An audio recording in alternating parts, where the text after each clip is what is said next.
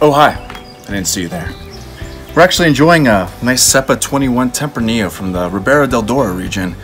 Rioja has been blowing up, but this is a region that I really want to focus on tonight. This is a beautiful Tempranillo that we're enjoying in Lakeshore, California. We get a chance to breathe in some pine cones, see some mountains, meet with good friends, like a sommelier, Regina.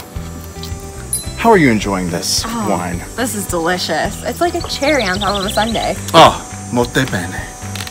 And we also have a also noble friend from a Wine Spirits Educational Trust, oh. James. How are you enjoying this Tempranillo? Soft tannins, bit of blueberries, delicious. Oh, Love it. love it, love it. We also have two of my favorite people in the world, Jesse Thomas, Camilla. How are you guys enjoying this wine? What do you think, babe? Silky. With the redwood finish. Ooh, Exactly. perfect.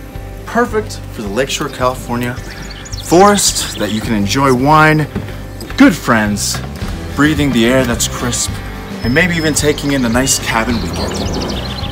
I hope that everyone at Wino Joe can enjoy a glass of wine, clink it with a few good friends, maybe just relax for a little bit. Sit by a fire and breathe in the poetry that is wine in a glass.